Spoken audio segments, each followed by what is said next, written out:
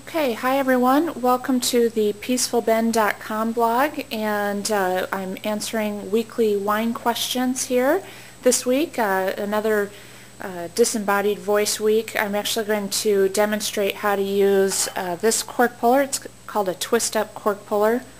Um, there's a few other names for this out there. Gourmet cork puller you see every once in a while. Um, but basically it just has these two prongs. One's a little bit longer than the other one.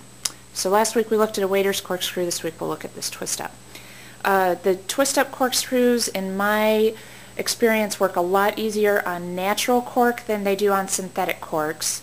Um, so I'll, I'll demonstrate that here in a second. And, uh, but you can use them on both. So first I'm going to start with a bottle that has a natural cork in it. And basically what you're going to do is start with the longer end and insert that in between your cork and uh, the side of your glass. Okay, so you just start out and just kind of wiggle it down real slowly down on the side there. And once you get to this point where this, uh, this extra prong is just slightly overlapping the lip, it's going to go on the opposite side. Okay, so when you actually insert it there, it's going to look like this.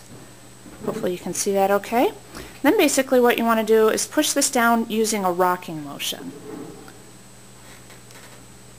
So just go real slow and just kind of rock it back and forth.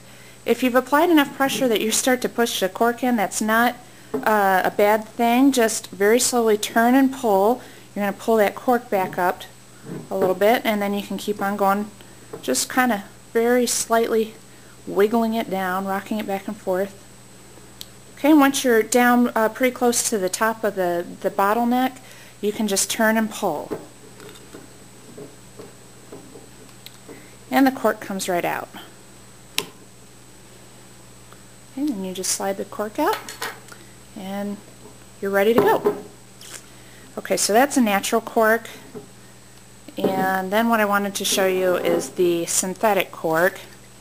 It does work, you just have to have a little more patience and a little more strength. So again, I'm taking this foil off the top of the bottle here.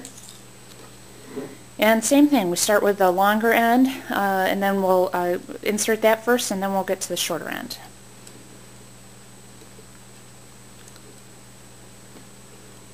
Okay, here I have the longer end inserted, and then putting that shorter end in.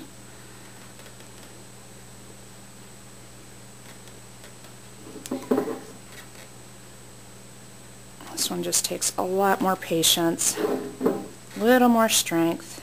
Sometimes it gets caught into the cork itself on these synthetic corks.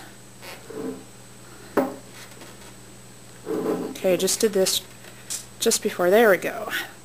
You can kind of, sometimes on the synthetic corks you can kind of hear it releasing a little bit of air when you know you've kind of got it through, and that's how these cork pullers are working. If you're having real troubles, you can actually go ahead, even though I don't have this all the way down on the top of the bottle, you can go ahead and start twisting and pulling. Give you a little more room. And just, again, it's not a big rocking motion, it's just a little bit back and forth. There we go. Now I'm ready to go ahead and pull this the rest of the way out. I like the waiter style corkscrew so much more uh, for the synthetic corks. But here you can see I've actually, I actually went through, this is what was giving me some problems. I actually kind of went through some of that coating on that synthetic cork. But that's how you uh, take out your corks using a twist-up cork puller. And thank you for joining me today on the Peaceful Bend blog. If you have any questions, please feel free to leave them in the uh, comment section or email me at winery at peacefulbend.com. Or if you see me in person, feel free to ask me your question then. Thanks so much. We'll see you next week. Bye.